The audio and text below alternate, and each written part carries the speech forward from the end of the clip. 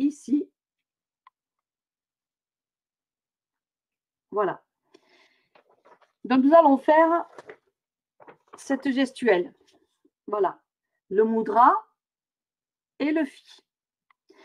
Mais nous allons travailler cette, onde de forme parce que c'est une onde de forme dans laquelle, à travers le mudra, il y a des énergies qui se mettent en place.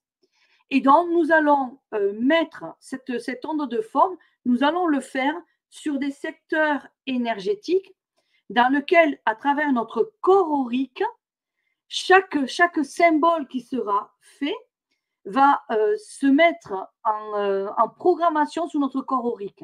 Et vous allez voir qu'à un moment donné, sur, sur une zone ou une autre, il va y avoir des frissons, il va y avoir une sensation, et même selon, vous allez pouvoir avoir envie de rester sur la zone. Ben, ça veut dire que cette zone est votre potentiel.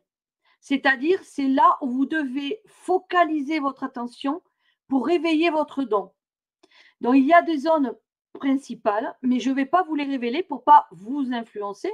C'est là où je dis que le prochain atelier sera sympa parce que à, travers ce que vous allez noter, qu'il y a, par exemple, telle zone et telle zone qui vous a envoyé des frissons ou, éveillé une vague de chaleur ou euh, peut-être un mouvement, voilà, quelque chose qui s'est produit, mais je saurai vous répondre quel est le don qui est en vous, qui demande à être éveillé ou à être amplifié.